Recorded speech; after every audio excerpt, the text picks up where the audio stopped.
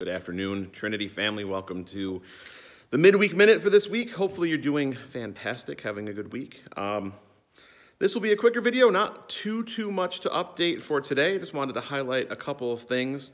First, uh, this was in the bulletin this past week, but just to remind everybody that we have Advent coming up. I know it's, it's already November, and Advent is the last Sunday in November. So we're going to be decorating the church for the Advent season on Monday, November 22nd at 6 p.m. So if you are free that night and want to come do the Christmas trees and all the decorations we have in the sanctuary, the narthex downstairs, we kind of deck the halls as as people say, and so it's kind of a fun night. And so um, if you are able to help out that night, please come and help out.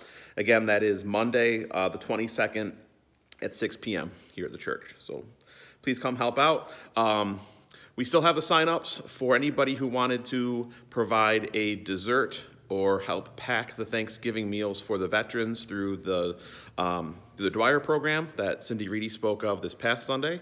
So if you'd like to help out with that, you can still sign up. We're looking for people to be bringing desserts to the church on the um, Sunday the 21st so that they can be collected and, you know, packed up appropriately for um, for the Dwyer program to, to bring them out to their vets. So if you're able to do that, please do. Um, and we have lots of people who can make lots of delicious desserts. So um, you can bring them that Sunday. That's uh, Sunday the 21st.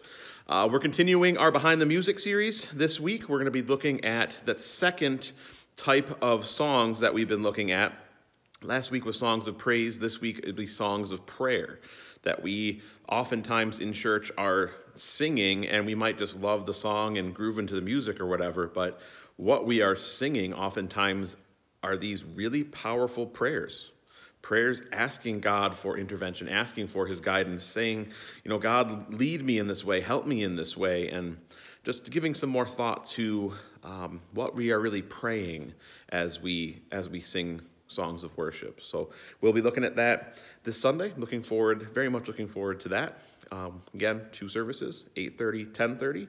Uh, the 10.30 service will be live streamed. Um, and I think that's that's it for today. A little bit shorter video, like I told you. I could ramble for another five minutes. What could I talk about?